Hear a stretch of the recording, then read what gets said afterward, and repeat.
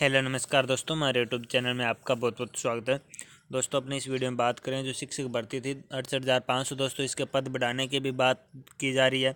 तो दोस्तों, इसके बारे में आपको पूरी जानकारी बता देता हूँ। बने रही वीडियो के तक और जो अपने चैनल में पहली बार विज़िट करें उनसे रिक्वेस्ट है कि अभी तक चैनल सब्सक्राइब नहीं किया तो सब्सक्राइब करके अभी से जुड़ जाइए और पास में जो नोटिफिकेशन बेल आता है, उसको भी ओपन कर लीजिए क्योंकि दोस्तों, आपको हर अपडेट न्यूज़ सबसे पहले डाली जाएगी और आप सबसे पहले पल पल की न्यूज़ प्राप्त कर सकते हो।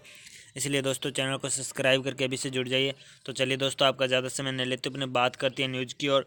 तो दोस्तों, यहाँ पर देख लीजिए, शिक्षक भर्ती की ओर, शिक्षक भर्ती की ओर अड़सठ हज़ार पाँच सौ पदों के लिए खुल गए दरवाजे। तो दोस्तों, अब जो टी का एग्ज़ाम है इसके बाद आपके भी दोस्तों यहाँ पे दिया गया है। तो परीक्षा नियामक प्राधिकारी शासन के प्रस्ताव भेजा ओमार आधारित होगी परीक्षा। तो दोस्तों, प्रयागराज सिटी से न्यूज़ है। तो परीक्षा नियामक पदाधिकारी की ओर से प्रदेश में प्रसिद्ध विद्यालयों में खाली अड़सठ हज़ार पाँच सौ विद्यालय अध्यापकों की दूसरी भर्ती के लिए शासन के पास प्रस्ताव भेज दिया गया है। यह परीक्षा अब लिखित माध्यम से नहीं, बल्कि ओ सीट आधारित होगी। इसके लिए परीक्षा नियामक पदाधिकारी द्वारा तैयारी भी शुरू कर दी गई है। शासन की ओर से इस परीक्षा के लिए टीईटी रिज़ल्ट जारी होने के बाद छः दिसंबर से प्रक्रिया शुरू करने की बात कही जा रही थी।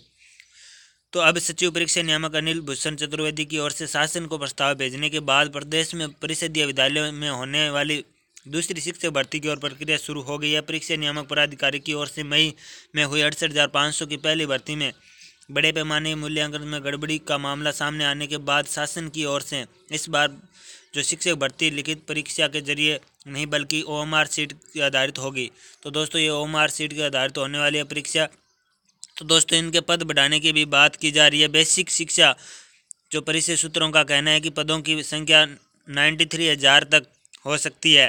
दरअसल सुप्रीम कोर्ट की ओर से परीक्षा मित्रों का शिक्षा के पदों पर हुआ समायोजन निश्चित किए जाने के बाद सरकार ने शिक्षा मित्रों से खाली हुए एक पॉइंट तीन सात लाख पद, जो पदों की शिक्षा भर्ती परीक्षा के ज़रिए भरने की घोषणा की थी।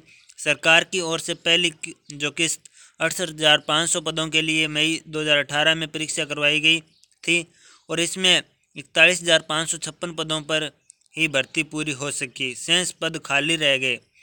तो दोस्तों, यहाँ पे देख लीजिए, शिक्षा मंत्री के लिए अंतिम मौका। शिक्षा मित्रों की सॉरी शिक्षा भर्ती के परिषदीय विद्यालयों में पूर्व में समायोजित हो चुके शिक्षा मित्रों के लिए।